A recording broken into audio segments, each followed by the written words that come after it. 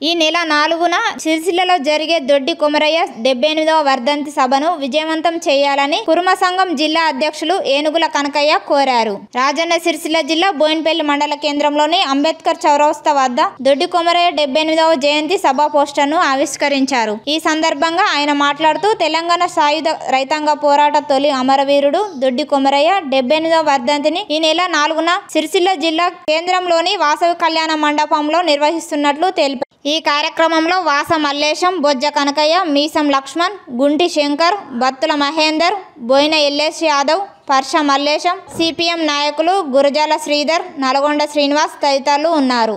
వర్ధంతి నాలుగో తారీఖు నాడు ఉన్నది. ఆయనే భూస్వాములకు పెత్తందారులకు వ్యతిరేకంగా ఈ అణిచివేతకు వ్యతిరేకంగా ఆనాటి నైజాం కాలానికి ఎదురు నుంచి పోరాడినటువంటి తొలి అమరుడు దొడ్డి కొమరయ్య వర్ధంతి సిరిసిల్లో ఉన్నది కాబట్టి అందరూ కూడా కులాలకు అతీతంగా పార్టీలకు అతీతంగా అందరూ కూడా దీన్ని విజయవంతం చేయాల్సిన అవసరం ఉంది.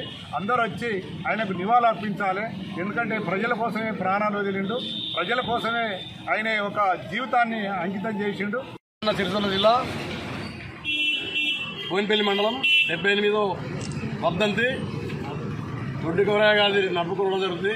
రాజకీయ నాయకులు కానీ అన్ని కులాలకు అన్ని మతాలకు అతీతంగా మరి జరుపుకోవడానికి రాజచ్చి విజయవంతం చేయాలని అదేవిధంగా ఈ రోజు అనుకుంటా నాలుగు తారీఖు నాడు మరి మనం అన్ని మండల హెడ్ క్వార్టర్లో అదేవిధంగా జిల్లాలలో మనము విజయవంతం చేసుకొని ఇంకా ముందుకు తీసుకుపోయి మనం మానవుల అడుగుదాడల్లో మనము రాజకీయంగా అన్ని అన్ని అందరూ పార్టీలకు అతీతంగా వచ్చి విజయవంతం సిరిసుల్లో ఫంక్షన్లలో విజయవంతం చేయాలని పదే పదే కోరుకుంటున్నాం. తెలంగాణ సాయుధ రైతాంగం పోరాట యోధుడు శ్రీ దొడ్డి కుమరయ్య గారి వర్ధంతి కార్యక్రమం ఈ నెల నాలుగో తారీఖు రోజున వాసవి కళ్యాణ మండపం సిరిసిల్లలో సిరిసిల్ల జిల్లా కేంద్రంలో ఘనంగా నిర్వహించడం జరుగుతుంది. ఇటు కార్యక్రమానికి పార్టీలకు అతీతంగా అదేవిధంగా కులాలకు అతీతంగా ఎందుకంటే పోరాట యోధుల వారు చేసిన త్యాగాలను మనము గుర్తు చేసుకోవాల్సిన అవసరం ఎంతైనా ఉంది. అట్టి కార్యక్రమంలో భాగంగానే సిరిసిల్లలో కానీ అదేవిధంగా చందుర్తిలో కానీ చందుర్తిలో కూడా పూర్తి అయిపోయింది బోయినపల్లి మండల కేంద్రం కూడా దొడ్డి కేంద్రయ్య గారి విగ్రహ ఏర్పాటు కోసము ఫౌండేషన్ కూడా పూర్తయింది.